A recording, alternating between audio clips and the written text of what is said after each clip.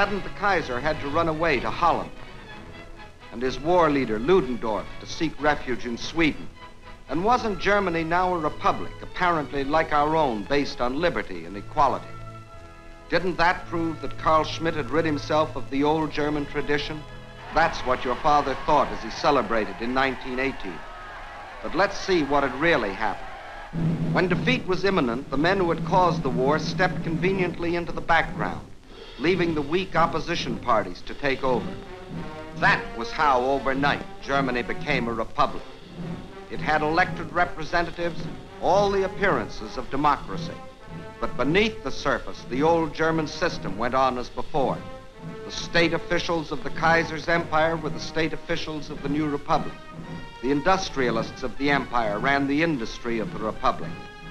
Even the same teachers presided over the same classrooms, preaching the same gospel of nationalism and German racial superiority. And above all, the general staff of the empire continued to function, even though secretly. The old Germany still lived, and Karl Schmidt, too, had never really changed. In the first place, he never believed that his armies had been defeated. During the four years of the war, he had been told only of an unending string of victories. News of defeat had been kept from him. And when the fighting ceased, wasn't his glorious army still on foreign soil? Germany itself still uninvaded? And because Germany was granted an armistice instead of being forced to unconditional surrender, Karl Schmidt never saw Allied soldiers marching through his capital. Instead, the German army home again after the armistice, bands playing, colors flying. Like the army of Frederick the Great. Like Bismarck's army. Certainly not like a conquered army. Why then had Germany signed an armistice, Karl Schmidt asked himself. Why, a year and a half later, what he called the shame treaty of Versailles? Why was Germany, in his judgment an undefeated Germany, accepting the penalties of defeat? Bitter, self, Karl Schmidt was looking for a scapegoat. He found one. The one the German war leaders had always planned that he should find. Karl Schmidt never blamed the men who had caused the war. Instead, he blamed the men who had signed the peace. Thus, in Karl Schmidt's distorted thinking, the ill-fated German Republic meant a bunch of traitors that had stabbed the fatherland in the back. And the general staff, the great landowners, the industrialists, the state officials smiled contentedly. Not only had they escaped blame themselves, but they had smeared the idea of democracy in Germany. It was a blow from which it would never recover. Karl Schmidt would go back to the old tradition, the tradition of Frederick and Bismarck and the Kaiser, the tradition of militarism and war. But wasn't the Versailles Treaty designed to prevent Karl Schmidt starting another war, even if he wanted to? By this treaty, the Germans agreed to disband the general staff, to limit their army to 100,000 men, to hand over their fleet to demilitarize the Rhineland and coastal fortifications. They bound themselves never again to build an air force or submarines. And to enforce the treaty, Allied troops were to occupy the west bank of the Rhine, the Cologne sector for five years, the Koblenz sector for 10, the Mainz sector for 15. Further, there was the League of Nations, designed to prevent Germany or any other country from starting a war of aggression.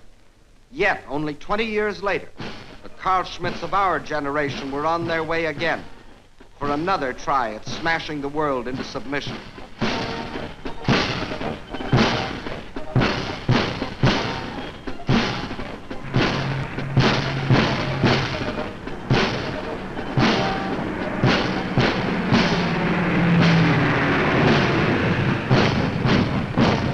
How was Karl Schmidt able to rearm so quickly? Like every other country after the last war, Germany faced hard times.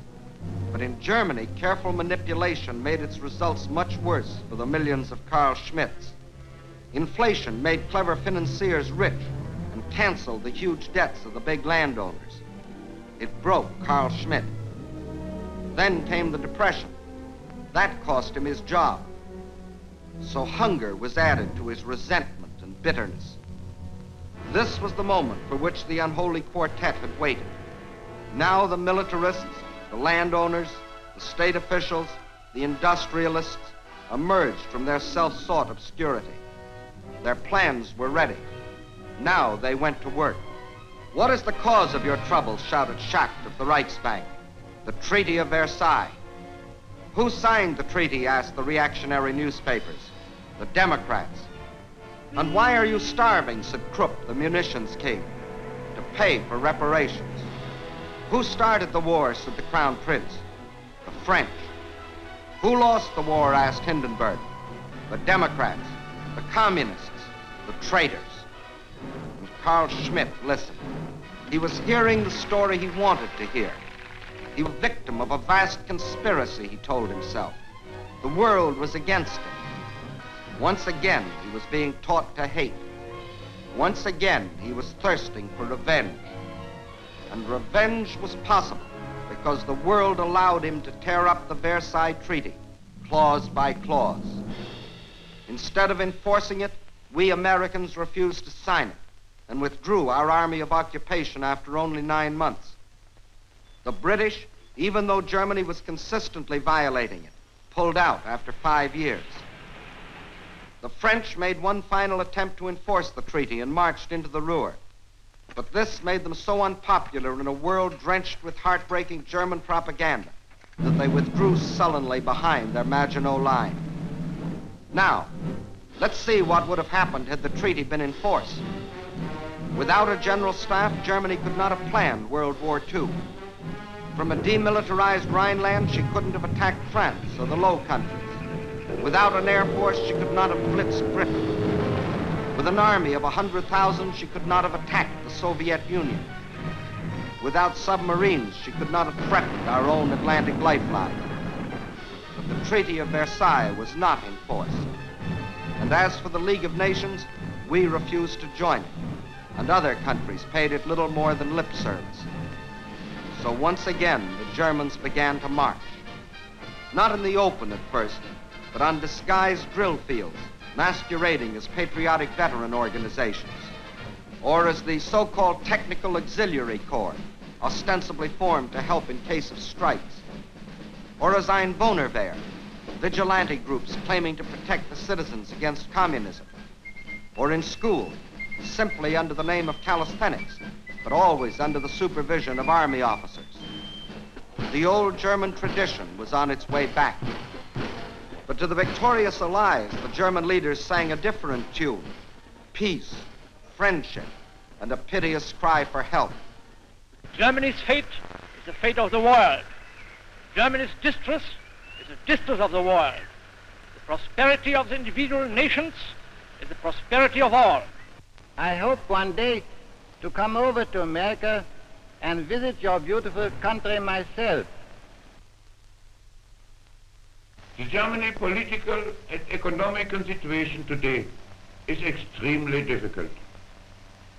This is the result not only of having lost the World War, but above all the outcome of the fact that Germany's former enemies are oppressing her above endurance. And when the German leaders whined they were too poor to pay reparations, we believed them. Result? Not only did they not pay one penny, but they received additional billions granted them in loans. It didn't occur to most of us that they would use this money to build up their industry for another war. We began to sympathize with Karl Schmidt. Why should he suffer because his father started a war? Maybe the Versailles Treaty wasn't fair. Maybe the French had been too tough. Or maybe it was the British. Or maybe Wilson wasn't very practical. Once again, we were determined to see only the pleasant side of the German character this clean and tidy people, this musical people, this industrious people, this historic country, this beautiful country. But behind this peaceful facade, the Germans prepared again for aggression.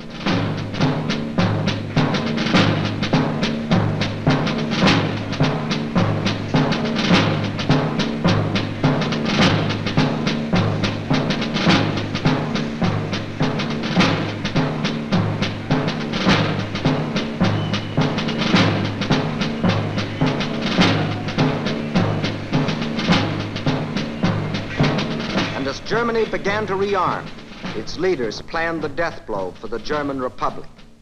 True, they had already taken it over for their purposes, installing the aged von Hindenburg as president